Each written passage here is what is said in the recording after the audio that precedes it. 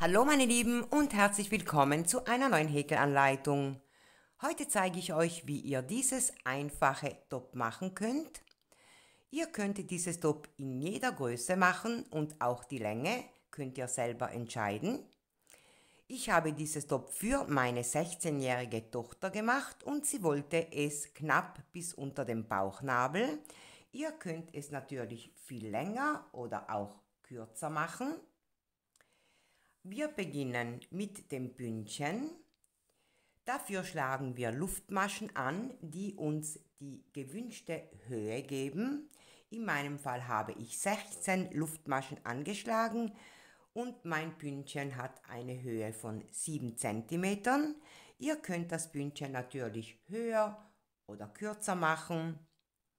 Und dann arbeiten wir so viele Reihen, bis wir den gemessenen Umfang erreicht haben. Also wie gesagt, meine Tochter wollte dieses Top bis knapp unter dem Bauchnabel, also habe ich mit dem Maßband diesen Umfang gemessen und dann, wie gesagt, so viele Reihen gemacht, bis ich die gemessenen Zentimetern erreicht habe. Wenn ihr das Top nur bis kurz unter der Brust wollt, werdet ihr diesen Umfang messen für das Bündchen. Wenn ihr das Top viel länger wollt, zum Beispiel bis zu den Hüften, dann werdet ihr diesen Umfang messen und dann das Bündchen so lang arbeiten, bis ihr diese Zentimeter, die ihr gemessen habt, erreicht habt. Wenn wir das gemacht haben, werden wir das Bündchen dann zu einem Kreis schließen. Dann arbeiten wir uns in die Höhe bis unter dem Brustanfang und am Ende machen wir noch beide Oberteile und dann werden wir die Träger machen und schon ist das Top fertig. Jetzt schauen wir, was wir dazu brauchen und können dann mit der Anleitung starten. Wir brauchen unsere ausgewählte Wolle. Ich arbeite heute mit dieser Verlaufswolle. Meine Wolle ist eine 100% Baumwolle. Die dazu passende Häkelnadel, in meinem Fall ist es die Häkelnadel der Stärke Nummer 4. Dann brauchen wir noch eine Schere, eine Wollnadel, drei Maschenmarkierer und natürlich das Maßband, um den Umfang zu messen. Und jetzt können wir mit der Anleitung starten. Zuerst machen wir einen Anfangsknoten und wie gesagt, in meinem Fall werde ich 16 Luftmaschen anschlagen, die mir eine Höhe von ungefähr 7 cm geben. Ihr könnt das Bündchen natürlich wie am Anfang gesagt höher oder auch kürzer machen. Ich schlage jetzt jedenfalls 16 Luftmaschen an und dann sehen wir uns wieder.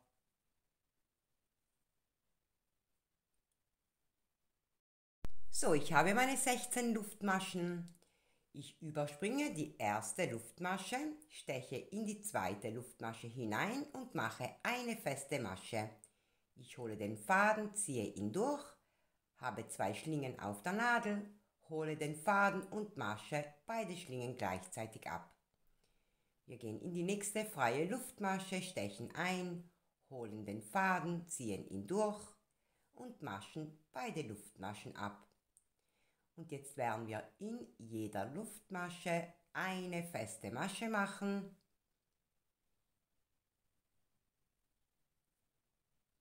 Und das bis wir am Ende der Reihe angekommen sind und dann sehen wir uns wieder. Ich bin jetzt am Ende der Reihe angekommen. Wir machen jetzt eine Luftmasche, wenden unsere Arbeit und von jetzt an werden wir immer nur ins hintere Maschenglied jeder Masche arbeiten. Und das für die, ganze, für die ganzen Reihen, die wir benötigen, um die Zentimeter unseres Umfanges zu erreichen. Also wir stechen immer nur ins hintere Maschenglied ein und machen eine feste Masche. In die nächste freie Masche ins hintere Maschenglied eine feste Masche. die nächste freie Masche ins hintere Maschenglied, eine feste Masche. Eine ganz einfache Arbeit. Immer nur ins hintere Maschenglied einstechen und eine feste Masche machen. Und das machen wir jetzt, bis wir an der vorletzten Masche angelangt sind und dann sehen wir uns wieder.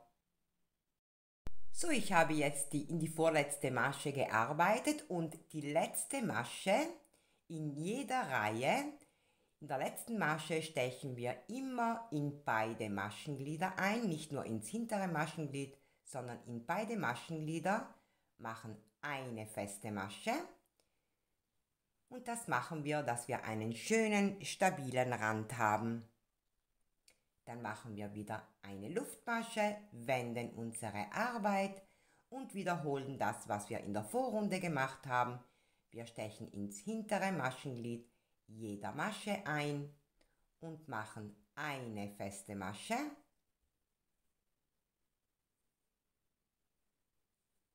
Immer eine feste Masche ins hintere Maschenglied jeder Masche. In der letzten Masche machen wir dann die feste Masche, indem wir in beide Maschenglieder einstechen. Dann machen wir eine Luftmasche, wenden die Arbeit und beginnen die nächste Reihe. Und so werden wir jetzt Reihe nach Reihe arbeiten, bis wir die Zentimeter erreicht haben, die wir für unseren Umfang brauchen. Das machen wir jetzt und dann sehen wir uns wieder. So, ich habe jetzt insgesamt 116 Reihen gemacht. Und wenn ich an der letzten Reihe angekommen bin, mache ich eine Luftmasche. Und jetzt werden wir diese beiden Teile verbinden. Eine ganz einfache Arbeit. Also wir gehen in die erste feste Masche auf dieser Seite in die erste Masche auf der gegenüberliegenden Seite und machen eine feste Masche. Dann gehen wir in die nächste freie Masche auf dieser Seite, in die nächste freie Masche auf der gegenüberliegenden Seite und machen eine feste Masche. Eine ganz einfache Arbeit, in die nächste freie Masche auf dieser Seite, auf der gegenüberliegenden Seite und feste Masche. Und das machen wir jetzt, bis wir am anderen Ende angekommen sind und dann sehen wir uns wieder. Wenn wir dann am Ende angekommen sind, drehen wir unsere Arbeit auf diese Art und Weise, dass wir die Naht innen haben wir machen jetzt drei Luftmaschen. Eins, zwei, drei.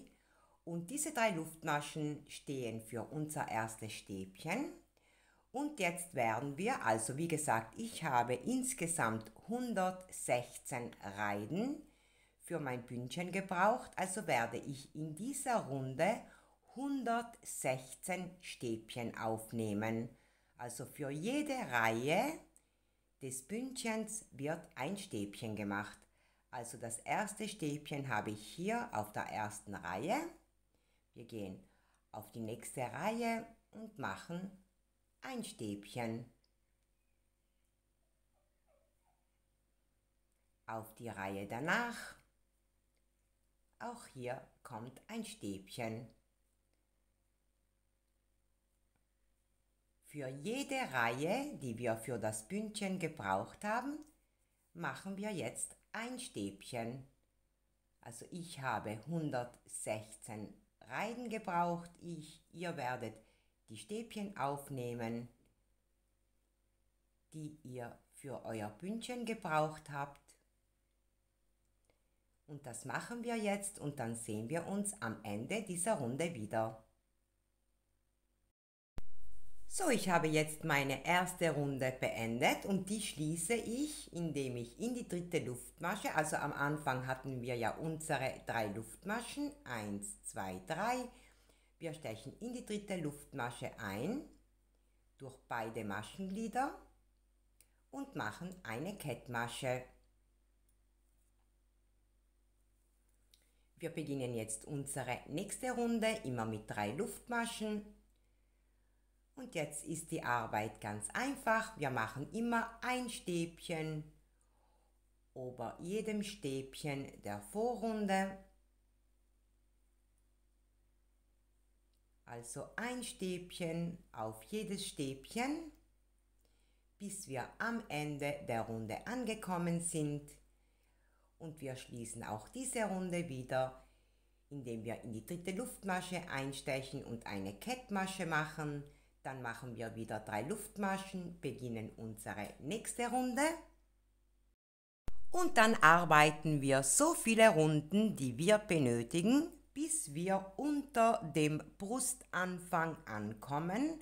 Also in meinem Fall habe ich insgesamt elf Runden gemacht. Wenn ihr zum Beispiel das Top kürzer macht, werdet ihr weniger Runden brauchen.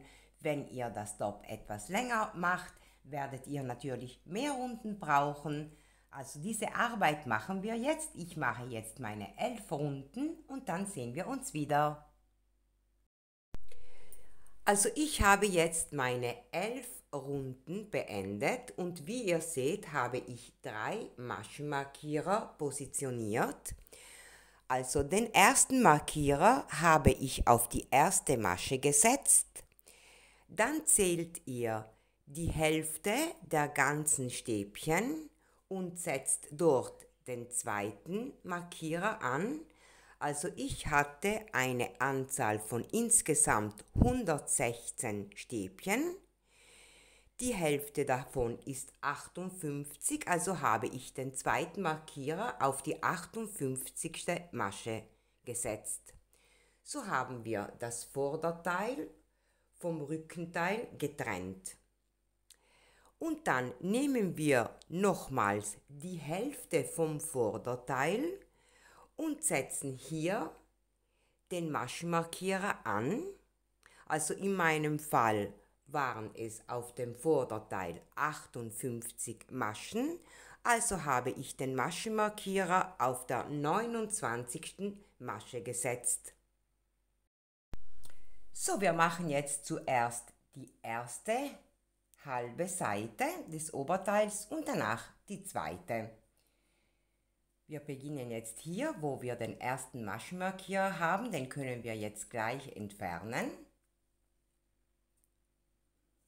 Wir machen drei Luftmaschen. Eins, zwei und drei. Diese drei Luftmaschen ersetzen unser erstes Stäbchen. Und jetzt werden wir in den nächsten zwei Maschen eine Abnahme machen. Wir holen den Faden auf die Nadel, gehen in die nächste freie Masche holen den Faden, ziehen ihn durch, haben drei Schlingen, wir holen den Faden und maschen die ersten beiden Schlingen ab. Diese zwei Schlingen bleiben auf der Nadel.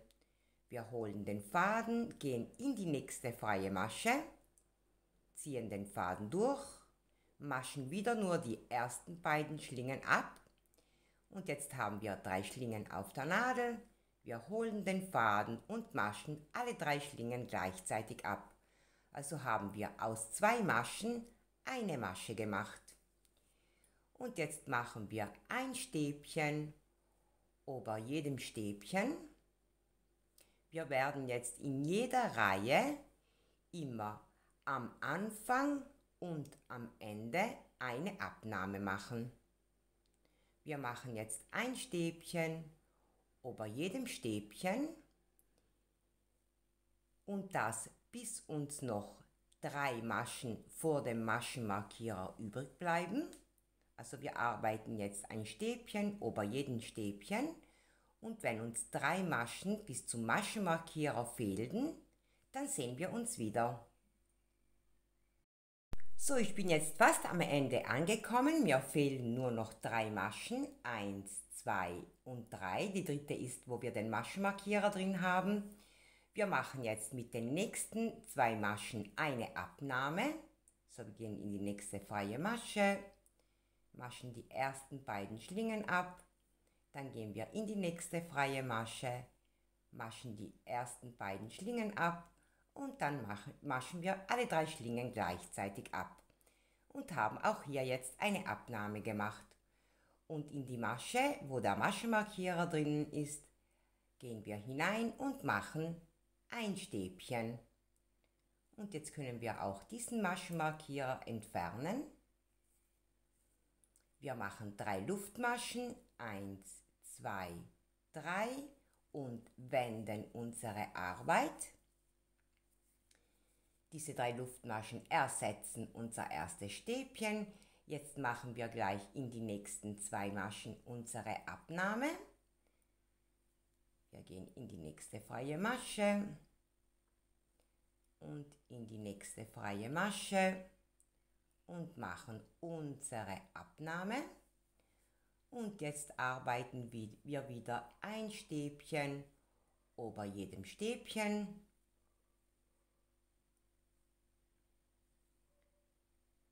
Ganz eine einfache Arbeit. Das machen wir jetzt, bis uns drei Maschen am Ende übrig bleiben.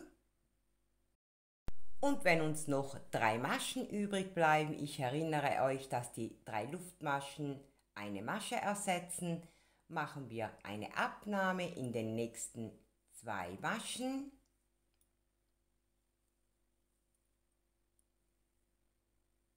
Und dann machen wir unser letztes Stäbchen in die dritte Luftmasche, die wir am, in der Vorrunde gemacht haben. Also wir stechen in die dritte Luftmasche ein und machen ein Stäbchen.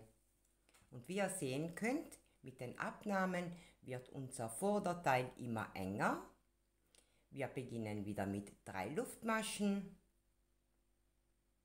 wenden unsere Arbeit nach den drei Luftmaschen kommt gleich die erste Abnahme.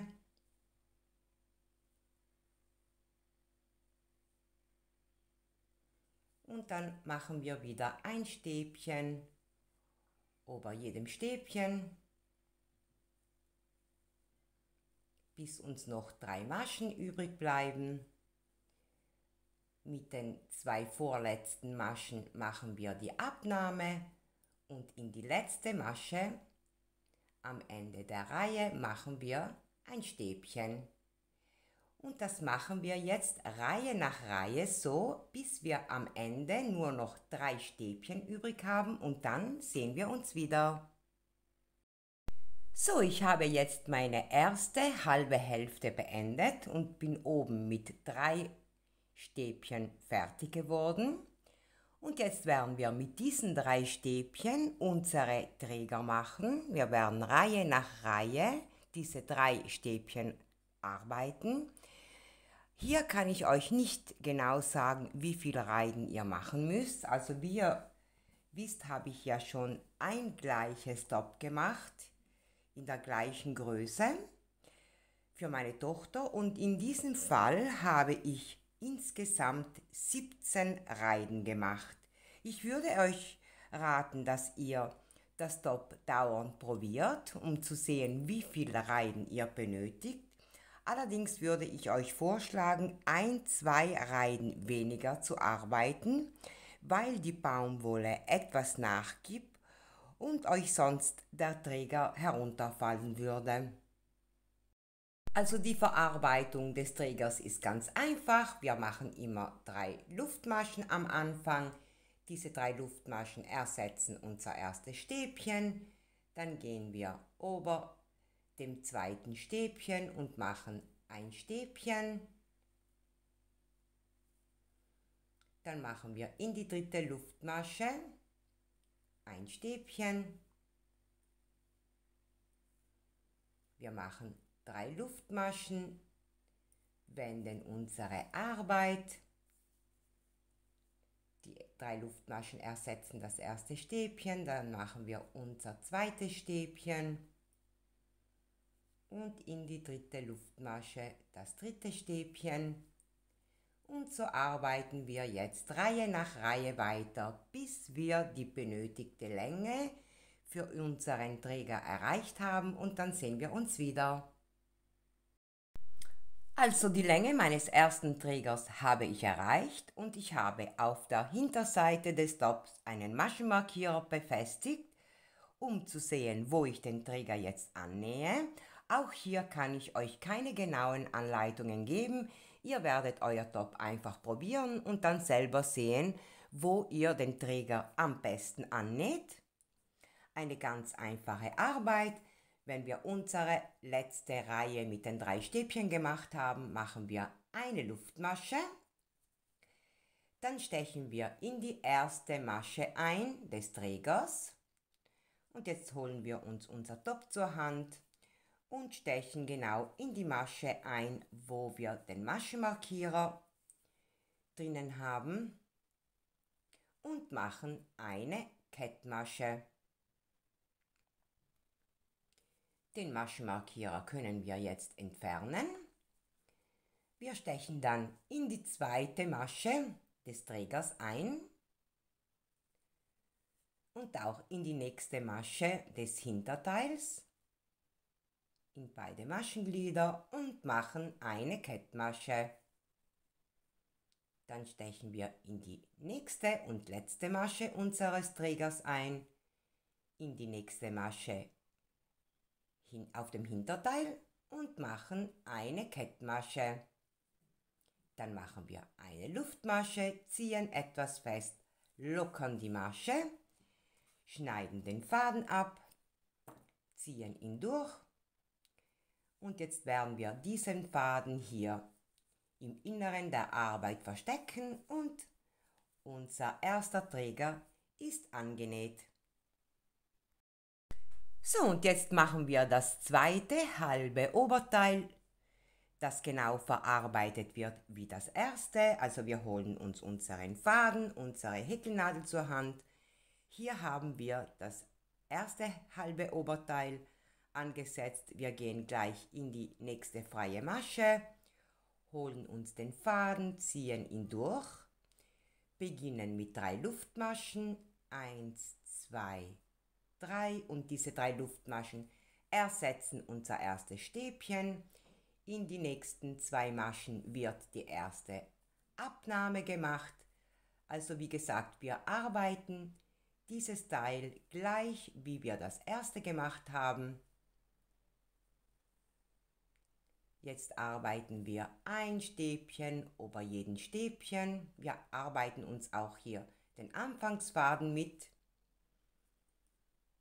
Und wenn uns unsere letzten drei Maschen übrig geblieben sind, machen wir mit den zwei vorletzten die Abnahme. In die letzte Masche kommt dann das Stäbchen. Dann werden die drei Luftmaschen gemacht, die Arbeit gewendet und wie gesagt, wir machen das gleiche, was wir auf der ersten Seite des Vorderteils gemacht haben. Dann werden wir unseren zweiten Träger machen, den wir dann auf der Rückseite annähen. Jetzt machen wir diese Arbeit und dann sehen wir uns wieder. So, unser Top ist fast fertig. Was wir jetzt noch machen, wir machen eine Runde mit festen Maschen um unser ganzes Top, damit wir ihm eine schöne Form geben. Wir arbeiten zuerst auf der Außenseite einer Hälfte des Oberteils und zwar gehen wir hier entlang, bis wir oben sind. Dann gehen wir hier auf dem Träger, arbeiten wir, bis wir wieder angekommen sind, wo wir angefangen haben.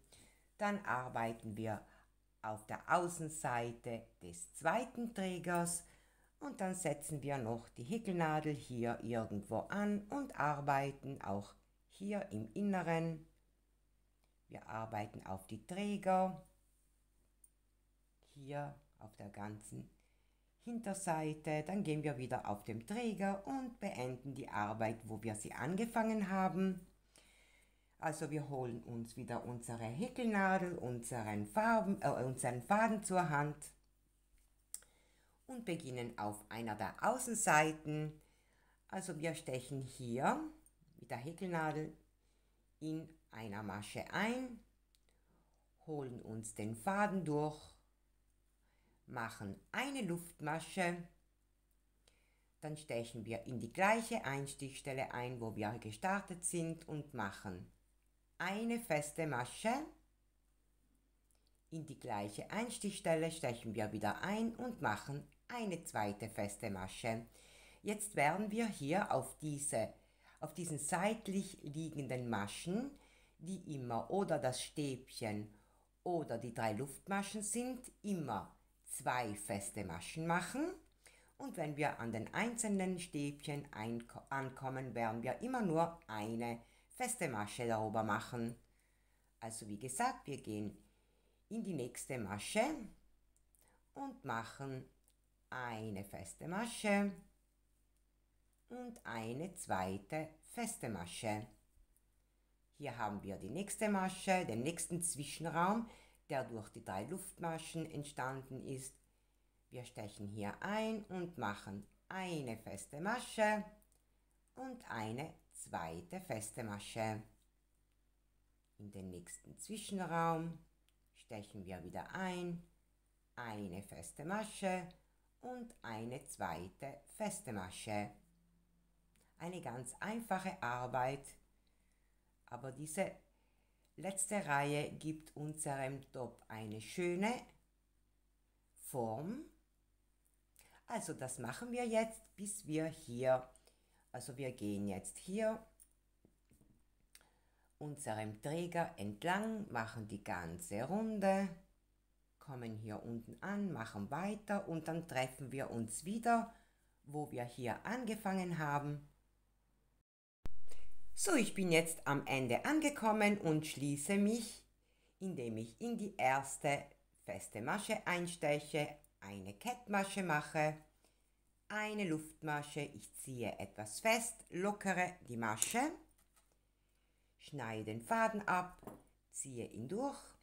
Diesen Faden werden wir dann hier im Inneren in den Maschen verstecken und jetzt werden wir das gleiche zuerst auf der anderen Außenseite machen und dann, wie ich euch schon erklärt habe, auf der Innenseite unseres Tops.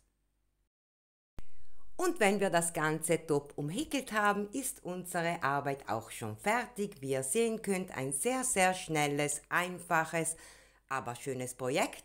Ich habe das dort bereits dreimal gemacht in drei verschiedenen Farben, weil es meiner Tochter einfach super gefällt. Ich hoffe, die Anleitung hat euch Spaß gemacht. Wenn ja, freue ich mich über einen Daumen hoch. Abonniert meinen Kanal und wir sehen uns das nächste Mal wieder. Ciao!